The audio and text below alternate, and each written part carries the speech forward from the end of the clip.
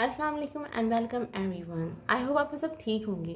So today we are going to study about the voriconazole and isavuconazole ठीक है? These are the two agents of the triazole group okay starting from the voriconazole so उससे पहले channel को subscribe कर लीजिएगा video को and तक ज़रूर देखिएगा और वीडियो को लाइक कीजिएगा अपने फ्रेंड के साथ शेयर ज़रूर कीजिएगा. ठीक है?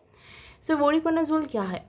वोरिकोनाजोल जो है, वो एक सिंथेटिक ट्राइजोल्स हैं, जो कि रिलेट करती हैं they are related to the fluconazoles okay they are broad spectrum drug हैं, ठीक है? वोरिकोनाजोल जो है, वो ओरल में और आईवी में दोनों में अवेलेबल होती हैं। वोरिकोनाजोल की ओरल बायोअवेलेबिलिटी जो है, वो हाई होती है और ये टिश्यूज़ में अच्छी तरह पेनिट्रेट करती हैं, ठीक है? वोरिकोनाजोल एम्फोटेरेसिन बी को रिप्लेस कर देती है।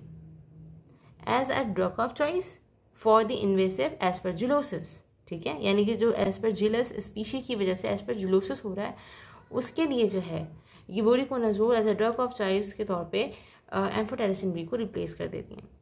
So we can use for the treatment of the invasive candidiasis and scedosporium and fusarium species fusarium और सीडोस्पोरियम स्पीशीज़ जो है, वो सीरियस इन्फेक्शन कॉज करती हैं। तो उनकी ट्रीटमेंट के लिए, उन सीरियस इन्फेक्शन की ट्रीटमेंट के लिए और कैंडिडियासिस के लिए जो है वो वोरिकोनाजोल को रिकमेंड किया गया है, ठीक है?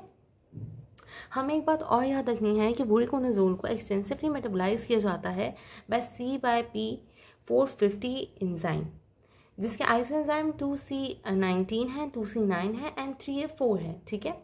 ये इससे मेटाबोलाइज तो होते हैं प्लस विद दैट ये इन आइसो एंजाइम्स के इनहिबिटर्स भी हैं और इंड्यूसर्स भी हैं। ठीक है? यानी कि अगर कोई ऐसा एजेंट आपने दे दिया जो इस एंजाइम से मेटाबोलाइज होता है तो उसको इनहिबिट भी कर देंगे। उसके साथ साथ ये अपने आप को भी इनहिबिट कर देंगे क्योंकि जो है वो खुद भी इससे मेटाबोलाइज होते हैं।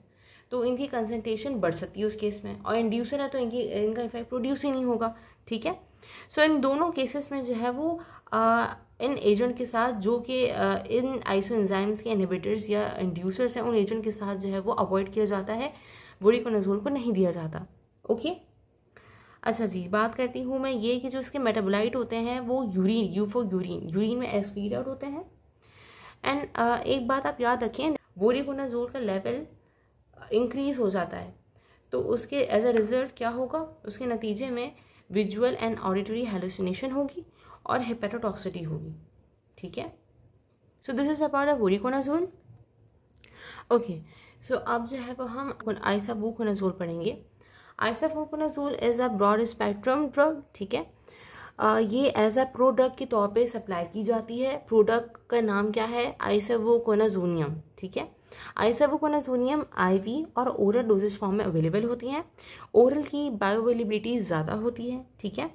आइसवोकोनाजोनियम जो है, वो ब्लड में एक इंजाइम प्रेजेंट होता है स्टीरेस इंजाइम तो ये जो है, वो प्रोडक्ट वो ब्लड में by the help of an enzyme that is known as the esterase enzyme ये कन्वर्ट होता है, यानी हाइड्रोलाइज होता है इनटू आइसेबोकोनाजोल ओके इनकी जो स्पेक्ट्रम ऑफ़ एक्टिविटी है ना, वो वोरिकोनाजोल से काफ़ी सिमिलर है, ठीक है? They are they are very similar right अच्छा ये किसके लिए अप्रूव किया गया है? For the treatment of the invasive aspergillosis and invasive जो है वो mucormycosis right Then one more thing, it is metabolized by the CYP453A4 and 3A5.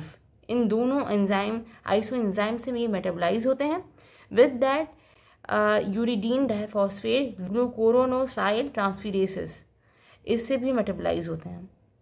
ये C Y P four fifty three A four से metabolise होते हैं और इसके inhibitors भी हैं यूज़र्स भी हैं। तो ऐसा कोई एजेंट जो इससे मेटाबलाइज हो रहा है, इस एंजाइम से मेटाबलाइज हो रहा है तो उसके साथ हम जो है वो आइसाबुकोनाजोल को नजूल को नहीं देंगे। द थिंग इज़ दैट कि अगर ये क्योंकि इनहिबिटर हैं इस एंजाइम के तो उसका लेवल भी ज़्यादा हो जाएगा और इनका लेवल भी ज़्यादा हो सकता है, या हो जाएगा। तो इस वजह से कॉन्ट्रा इंडिकेशन यहाँ पे आ जाती है। ऐसा कोई ड्रग नहीं देना जो कि उसी इंजाइम से मेटाबलाइज हो, ठीक है? देन एडवर्स इफ़ेक्ट की बात करती हूँ तो नोजिया है vomiting डायगिन hypokalaemia these are the common adverse effect of isavuconazole So I hope you like the video. Thank you so much.